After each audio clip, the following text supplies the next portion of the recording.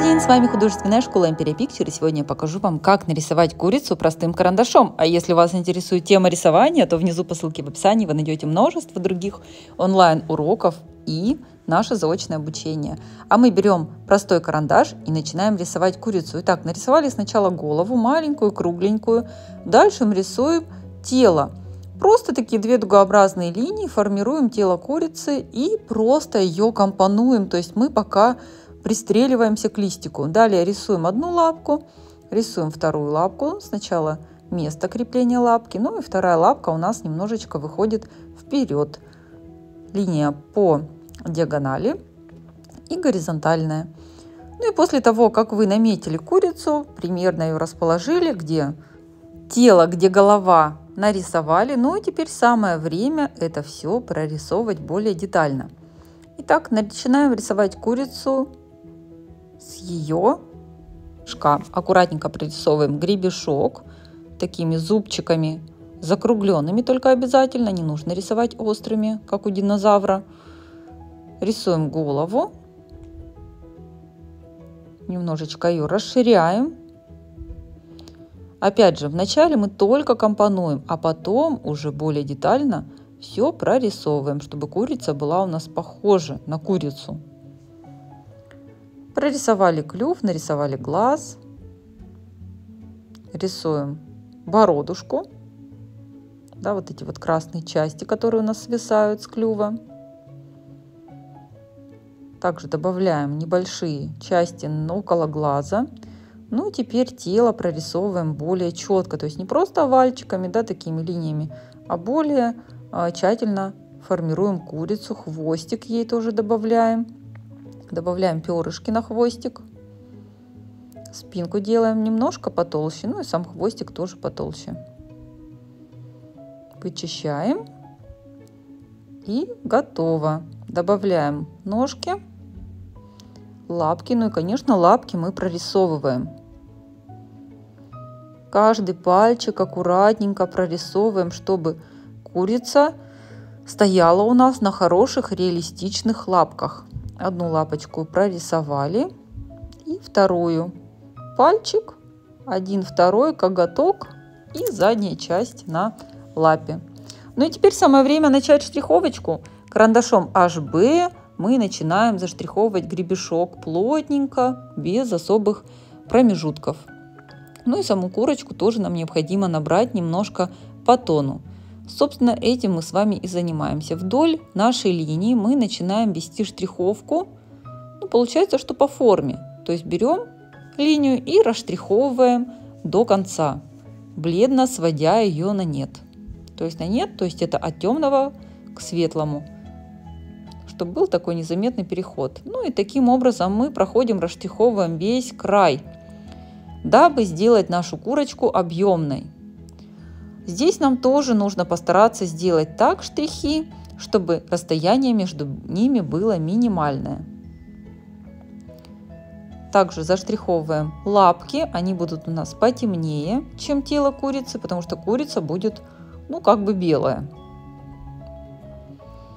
Лапки будут потемнее. Заднюю часть тоже делаем потемнее, потому что она у нас уходит в тень, да, и находится именно под курицей. Отделяем крыло.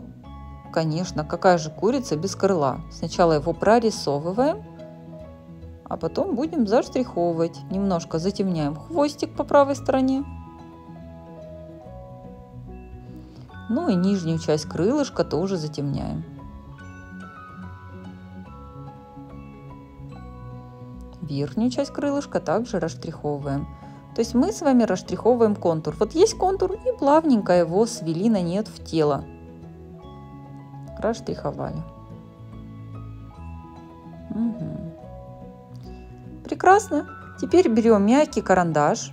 У меня это М карандаш 4М. Вы можете взять любой мягкий карандаш, тот, который черный. B2, B3, B6, B. В общем, какой найдете. Если вдруг у вас нет мягкого карандаша, вы можете затемнять прям HB карандашом, просто поярче темним, чтобы было потемнее. Ну и теперь прорисовываем глазки, прорисовываем гребешок, бородушку, в общем, все то, что у курицы красное.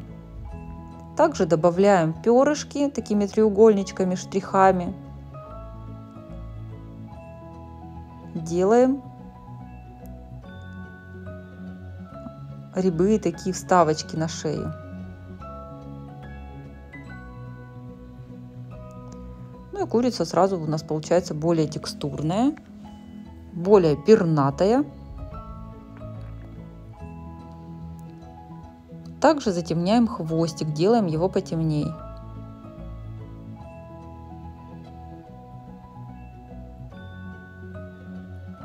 Затемняем. Смотрите, какой красивый хвостик. Прям по краю делаем хорошие темные такие штрихи. На самом деле HB карандашом тоже можно так сделать, если хорошенечко постараться. Но лучше, конечно, использовать мягкий карандаш. Если уж вы художник, даже начинающий, то рекомендую вам приобрести себе простые карандаши разной твердости. HB, H и 2B, ну хотя бы, да, и твердый карандаш, чтобы у вас был в наличии, и мягкий, и твердо мягкий карандаш. Ну что, вот такая у нас получается курочка замечательная. Прорисовываем перышки, сразу она преображается. Ну и, конечно же, лапки. Делаем их потемнее и добавляем текстуру. Такие дугообразные полосочки на лапке. Сейчас мы буквально их затемним. И теперь полосочками доработаем лапки. Во-первых, мы подчеркнем их объем. Во-вторых, добавим текстуру.